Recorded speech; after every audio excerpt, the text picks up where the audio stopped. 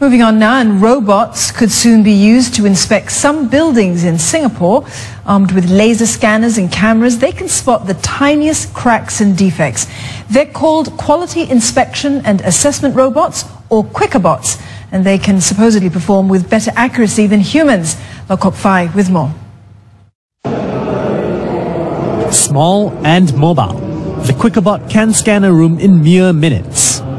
Nothing escapes their attention, and they don't make mistakes either, unlike humans. They are able to meet or even exceed the standards set by the Building and Construction Authority. Manual inspections can be labor intensive, time consuming, and very mundane work. It's also susceptible to sampling and human errors.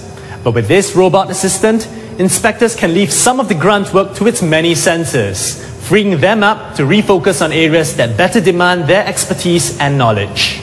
Our aim is not to replace the human inspectors, but instead uh, we are trying to uh, make the inspection in an auto in inspection of some uh, specific problems in an autonomous way, in a more reliable way, and a faster way. We can make the inspection in a half time of a manual inspector. Second is uh, we can continuously inspect for three days by only charging two hours. The QuicaBot was invented by scientists from Nanyang Technological University and co-developed by JTC and local startup CtrlWorks. Data from their scans can be uploaded to the cloud for further inspection. From the lab uh, uh, space environment, we have to uh, apply into a real construction environment in terms of scaling up that is where we see the bigger benefit of this machine because high volume, big space, you need more machine, more effort. And also we need to test in the real environment where space is not just one, but multiple space, multiple floor.